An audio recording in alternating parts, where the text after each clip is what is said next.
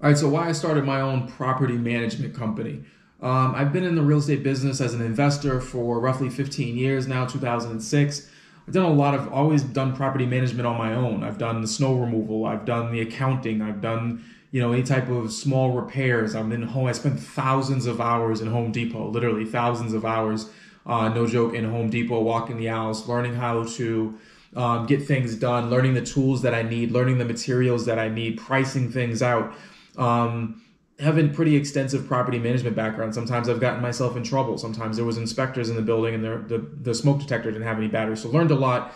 But the reason I started my own property management company wasn't the financial um, uh, benefits of running a company. It was more or less control. Um, I've hired other property management companies in the past. I've done two things. If I can back up, when you are trying to grow a portfolio, property management is not difficult, but when you're trying to actively grow a portfolio of rentals, if you're managing maybe five, six, um, 10, maybe, maybe even 15 rentals, you can probably do it yourself and probably have no time, you know, have plenty of time for it.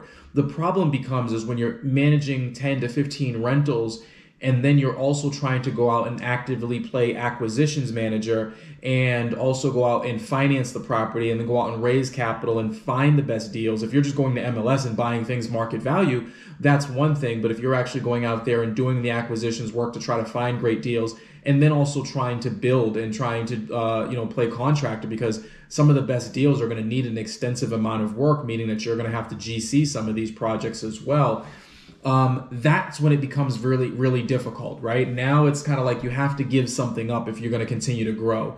Getting to 10 to 15 is probably not an issue and something that you're going to do, but most people probably max out at 10 or 15 rentals because now the property management side is taking up so much more of their time. So I've always been a big fan of, um, I wouldn't say always, I've, I've learned to be a big fan of delegating and trust. Um, delegating to other people and trusting other people. And the idea was always that I was just going to hire a property management company once I got too busy.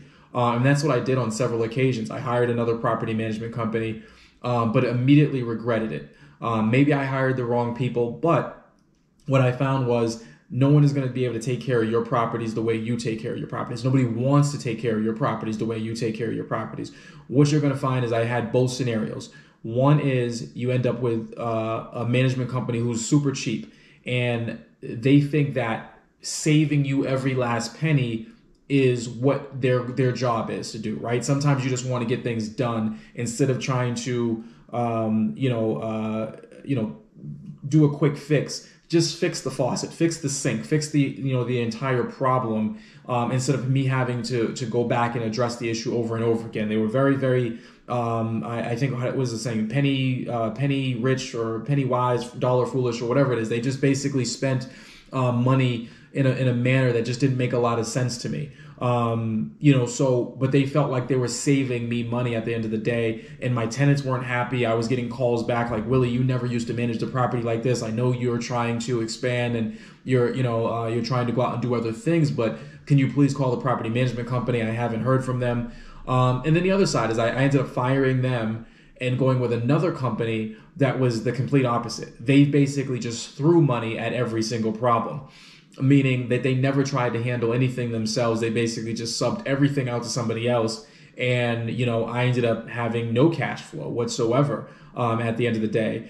And between those two experiences, I felt like it was just, it, it made more sense for me just to manage the manager, so to speak, right? Hire a property management company, excuse me, start my own property management company, hire, you know, property managers to run that company, but then they kind of report back to me and tell me um, what's going on. Can we, we collectively make decisions, give them some type of, give them a, uh, um, some ownership of it. And, and when I mean that, I mean like them freedom to do their job, but also being able to oversee that company and making sure that it is run to our standards, right? When I say that, I mean we do uh, quarterly maintenance checks unprompted, right? We're not going to be uh, just uh, uh, reactive to maintenance issues, but going into buildings and basically saying, it, are the smoke detectors uh, in working order? Has somebody taken the batteries out of them?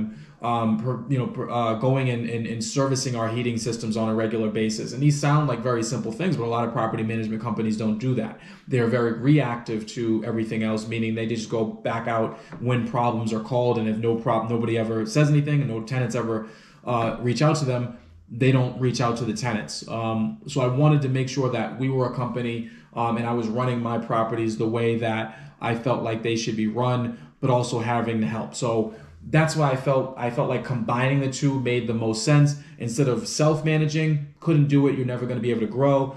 Property management, I was giving too much responsibility and too much trust in somebody else, and some people are great at that. Some people are great at the self-management. I felt like there was a a sweet spot for me right in the middle where I had uh, delegated the majority of the responsibilities through property management, but still had some element of control at the end of the day. Therefore, I started my own property management company.